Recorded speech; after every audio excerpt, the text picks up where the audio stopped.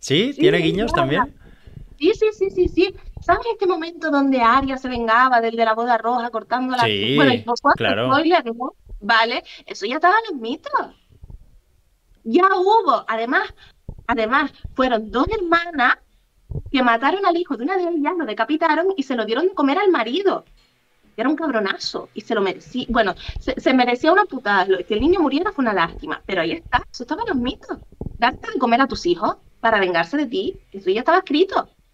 Eh, el, el otro Baratheon es el que quema a la hija porque la bruja roja le dice que Sí. mm, el señor de luz pide el sacrificio de la niña. Ese es Agamenón sacrificando a Ifigenia antes de la guerra de Troya.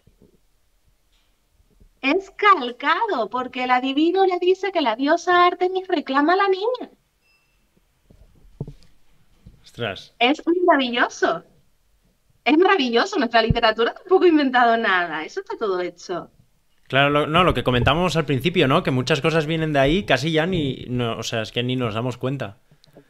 Claro, pero ¿por qué no nos damos cuenta? Por- por- porque no tenemos interés en conocer nuestros orígenes. Luego cuando se lo dices a la gente dice, ah, qué guay, pues la mitología, pues Claro. la literatura clásica mola. Claro que mola. O sea, eh, es que es de donde hemos aprendido lo que se hace ahora. Todo lo que a ti te pueda gustar ahora, eso ya lo hizo alguien.